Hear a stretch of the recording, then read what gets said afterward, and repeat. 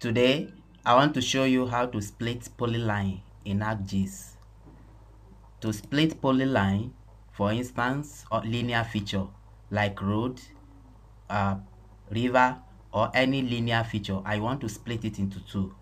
And this is useful, for instance, during construction of road, when they want to construct it in phases and they want to split the road into different segments.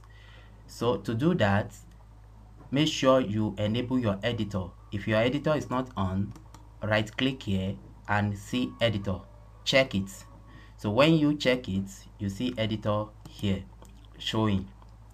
So the first thing to do right click on the layer and come to edit feature. Start editing.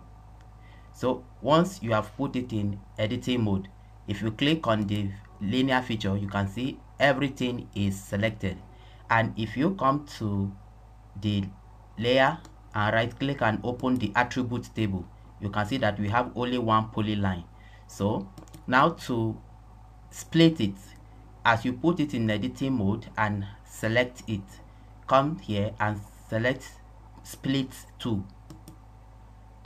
Once you select it come to the point where you want to split it and click.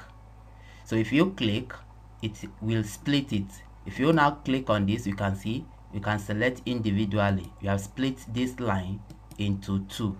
If you come back to the attribute table and open the attribute table you can see that we now have two polyline we have splitted it into two.